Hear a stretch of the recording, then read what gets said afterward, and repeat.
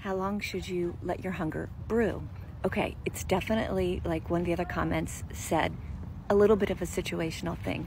Like if you are, are at home, you feel good, you know the minute that you hit that wall with hunger where all of a sudden you're like, you know you're in stage two and you, you just really need to eat. So there's no obstacle for you getting that food and taking care of yourself nicely, which is the goal. Then, you know, you can let it brew a little bit. I mean, that's the best time to do that. If you are out and you're not sure how you when you're going to eat or what the situation is it's a little less uh, a little um, uh, more of an unknown then you if you feel hunger coming you go okay i feel hunger coming i would like to let it brew but i'm not kind i'm i'm really close to this opportunity to get food like you know, let's say you're at an airport. Okay, there's food right there. I'm about to get on a plane. I'm not sure if I'm going to have food there. So should I get some? Huh, obviously, I'm on vacation, so this just happened to me. So yeah, I always get that food. And then I take it with me and I eat a little bit if I'm a little bit hungry. Or, or if, if once I have the food with me, then I'm like, okay, well now I can let it brew because I'm, I'm got myself taken care of.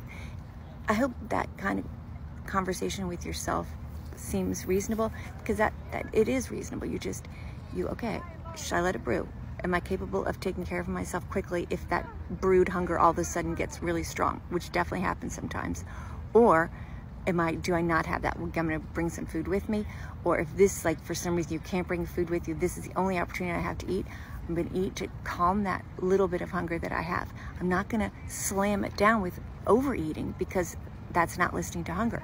But I'm going to take care of this little beginning of hunger, you know, in stage two, where it's annoying to me and I definitely feel I'm not quite sure I need to eat immediately, but I'm not sure when I'm going to be eat again. Eat enough just to get yourself back to neutral. You never slam down that hunger and go into full. You never don't make your body yell at you to stop eating. That's not nice to your body.